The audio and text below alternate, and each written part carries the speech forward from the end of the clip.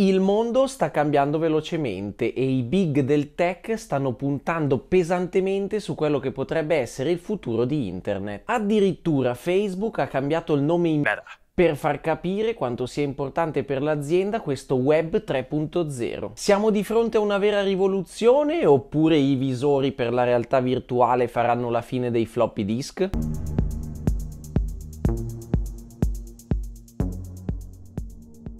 Partiamo con un po' di storia per inquadrare la situazione. Era il 1989 quando nei laboratori di Ginevra del CERN nasceva il World Wide Web. Tim Berners-Lee, un ricercatore inglese impiegato al CERN, stava cercando un modo di rendere accessibili tutte le informazioni agli oltre 17.000 impiegati del centro. E quella che state vedendo è la prima pagina web della storia. Un po' scarna ma funzionale. Per farla breve, sempre più università del mondo si sono unite a questa rete e grazie all'arrivo del browser Internet Explorer di Microsoft, che nel mentre aveva messo un personal computer in ogni casa, nel 1995 la rete divenne veramente globale. Now maybe you've read or heard about the internet, but you're still not exactly sure what it is. Passano un po' di anni, nascono i motori di ricerca e i servizi di instant messaging cominciano cominciano a cambiare il modo di comunicare delle persone. The computer would ultimately not be primarily a device for computation, but metamorphosize into a device for communication. With the web that's finally happening. Ma la vera rivoluzione arriva nel 2004 con la nascita di Facebook. Da internet si passa a internet 2.0. Le persone passarono dal semplice cercare informazioni su internet ad interagire tra loro. Ed eccoci arrivati a oggi con i visori per la realtà virtuale che sono stati il regalo più gettonato dell'ultimo Natale, con una tecnologia che potenzialmente potrebbe di nuovo rivoluzionare internet per come lo conosciamo. Web 3.0. Non solo ora potremo comunicare, ma potremo interagire come se fossimo davvero nello stesso luogo, con persone che magari sono dall'altra parte del mondo. La realtà virtuale è una tecnologia che potenzialmente potrebbe davvero cambiare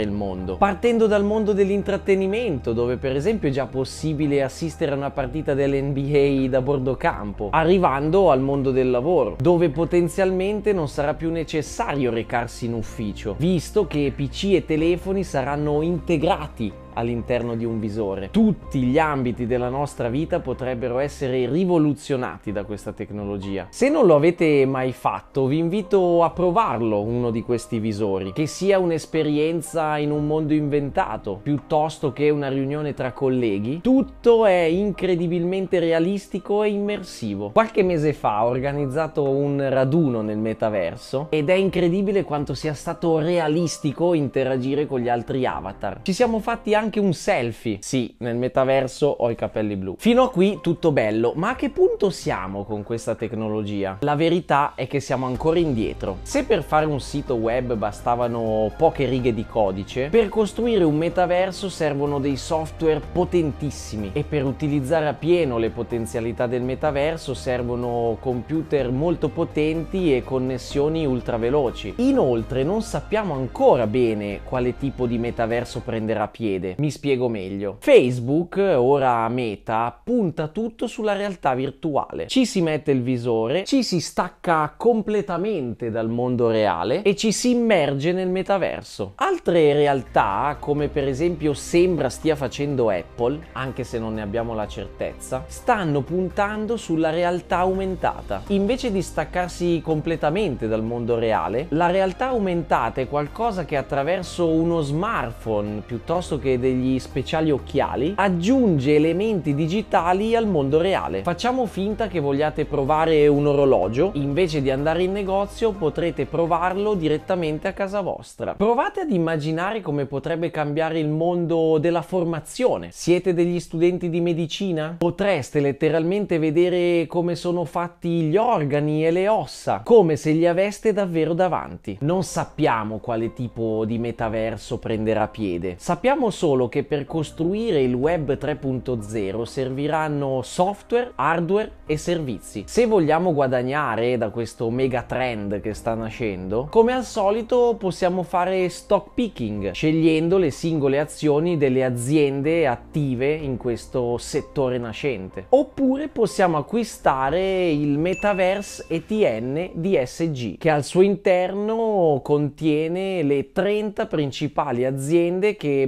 beneficeranno qualora il metaverso dovesse effettivamente prendere piede. All'interno di questo prodotto abbiamo dei veri e propri colossi come Alphabet, che poi è Google, Meta ed Apple, ma abbiamo anche delle aziende non direttamente coinvolte nel web 3.0 che però forniscono la tecnologia affinché questo settore possa effettivamente crescere. Stiamo parlando per esempio di Nvidia, la compagnia americana che ha inventato la GPU, un processore potentissimo che ha permesso alla grafica 3D di fare passi da gigante. Sempre in questo ETN troviamo Unity Software, l'azienda che produce uno dei pochissimi software al mondo per la costruzione dei metaversi, e Ambarella, un'azienda che applica l'intelligenza artificiale alla realtà aumentata. Insomma, 30 società che hanno le carte in regola per beneficiare della crescita del web 3.0. Un mercato che secondo Morgan Stanley potrebbe valere 8 mila miliardi di dollari. Questo che vedete qui è l'ISIN di questo prodotto. Tranquilli, trovate in descrizione del video tutti i dettagli ed il link alla pagina del prodotto sul sito dell'emittente.